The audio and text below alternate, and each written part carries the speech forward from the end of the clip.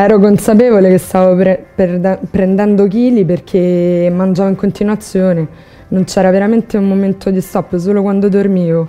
Era un continuo cercare il dolcetto, la bibita gassata, cercavo le caramelle, tutte le cose che non dovevo mangiare assolutamente perché già avevo i chili dell'allattamento, quindi già ero sopra di chili per l'allattamento tu sei quello che ha le redini della tua vita in mano e tu utilizzando quelle redini io sono convinta che ritroverai la tua strada cominciando da oggi. No, perché da piccola ero cicciottella, con l'adolescenza io so, purtroppo sono una persona che non è mai stata sportiva un po' perché i miei sono, erano una famiglia modesta, quindi non c'erano le possibilità. L'unico sport che seguivano era l'educazione fisica a scuola, le due ore a settimana. E quindi ero cicciottella, purtroppo lo ero. E sono riuscita a raggiungere un peso intorno ai 65, che per me era un ottimo risultato, ma così non era. E prima di sposarmi perché ho fatto una dieta bella tosta, però non era una cosa, secondo me anche se non fossi rimasta incinta l'avrei ripresi i chili perché non era una cosa costante, non mi avrebbe fatto mantenere il peso per tanto tempo. Simona si nascondeva dietro grandi magliette, giacchetti quando andavamo in palestra, belle felpone. Mi hanno sempre chiamato Sederona, quindi non lo vivevo bene. non lo vivevo bene da, già da piccola. E poi io sono una persona molto sensibile, quindi somatizzavo tanto, somatizzavo. Già da piccola avevo dei problemi col cibo che mangiavo. Purtroppo era per quello che subivo, per eh, le prese in giro. Poi mio padre era una persona molto magra e lui voleva che noi figli fossimo come lui. Purtroppo lui aveva la fortuna che era di costituzione, così faceva un lavoro manuale e quindi rimaneva in forma. Noi non eravamo così, io specialmente non ero così. Avevo le mie forme che erano diverse, ero rotondetta, quindi quello sì, l'ho subito male già da piccola. Poi dalla prima alla terza media ho subito bullismo a scuola perché um, mi chiamavano scimmia, i miei compagni di classe.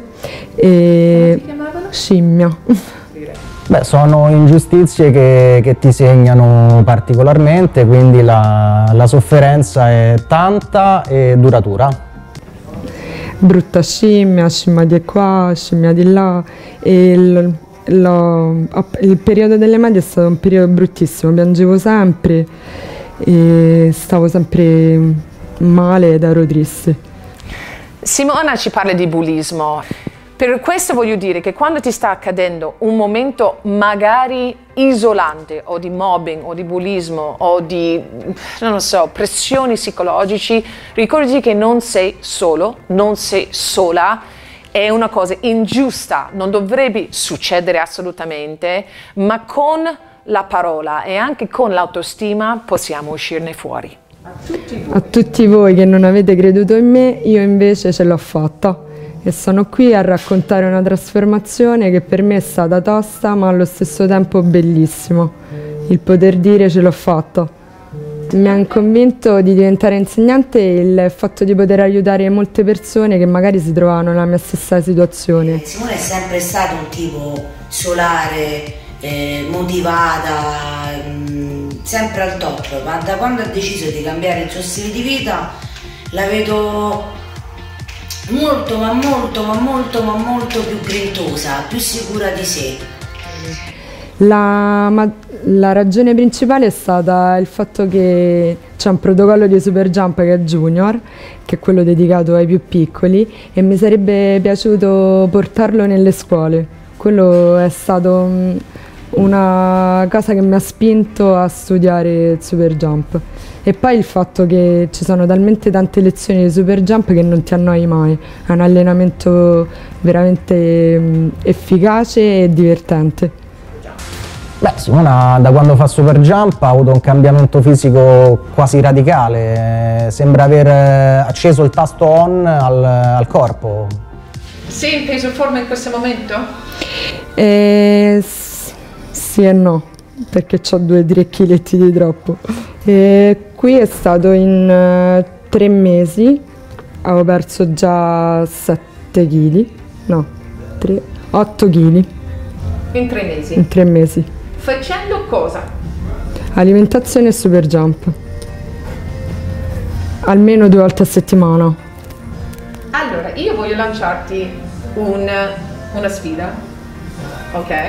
Siccome Yes I Can vuol dire aiutare le persone e portarti avanti ancora di più. Allora, tu in questo momento hai fatto un bellissimo percorso, ok? Eh, Sto sempre a meno 14 comunque. meno 14. sì. Però qual è il tuo peso ideale nella tua testa? Il mio peso ideale nella mia testa è 60, meno 20. Ok, tu vuoi perdere 6 kg? Sì. Vuoi perdere 6 kg? Ti piacerebbe provare l'integrazione? Sì, mi piacerebbe molto provare l'integrazione. Allora, io voglio lanciarti una sfida che oggi ok. io ti do degli integratori e il manuale, che fra poco, eh, cioè, ma- mai dire diete, che è il manuale proprio interattivo, e perché stai seguendo una nutrizionista in questo momento? No. No, perfetto. Allora abbiamo Sasha Sorrentino che Ah, lo conosco. fatto, eh, abbiamo dieta Detto fatto. poi- detto fatto. Mm, abbiamo le, le ricette di Veronica, abbiamo questo manuale. Ti do il manuale e ti do gli integratori e vediamo che cosa succede in tre settimane. Lo vuoi vedere? Sì. mi piacerebbe molto fare questo percorso con l'integrazione e l'alimentazione insieme con le ricette, perché è quello anche che blocca soprattutto, non avere fantasie in cucina e non, ehm, e non riuscire poi a mangiare sano. Yes I can, crederci sempre e arrendersi mai nella vita, in tutto, nell'alimentazione, nello sport e nella vita di tutti i giorni.